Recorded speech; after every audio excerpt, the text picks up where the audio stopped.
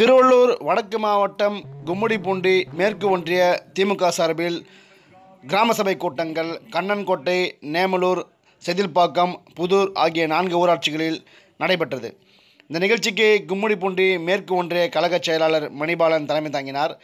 இதில் திருவள்ளூர் வடக்கு மாவட்ட கழக செயலாளர் கும்முடிப்பூண்டி கி. வேணு சிறப்பு அழைப்பாளராக கலந்து கொண்டு மக்களிடம் செல்வோம் மக்களிடம் சொல்வோம் மக்களின் மனங்களை வெல்வோம் என்ற நிகழ்ச்சியை தொடங்கி வைத்து மக்களிடையே கலந்துரையாடி குறைகளை கேட்டறிந்தார். அப்போது பொதுமக்கள் வீட்டு மனை வேண்டும் பஸ் வசதி செய்து தர வேண்டும் ஆரம்ப சுகாதார நிலையம் வேண்டும் பள்ளிக்கு போதிய ஆசிரியர்களை நியமிக்க வேண்டும் அடிப்படை வசதிகளான குடிநீர் சாலை மின்விளக்கு ரேஷன் பொருட்கள் போக்குவரத்து வசதிகள் உள்ளிட்டவைகளை செய்து தர வேண்டும் ஏரி குளம் ஆகியவற்றை தூர்வார வேண்டும் ரேஷன் கடையில் தேவையான பொருட்களை வழங்க வேண்டும் என்று கோரிக்கை வைத்தனர்.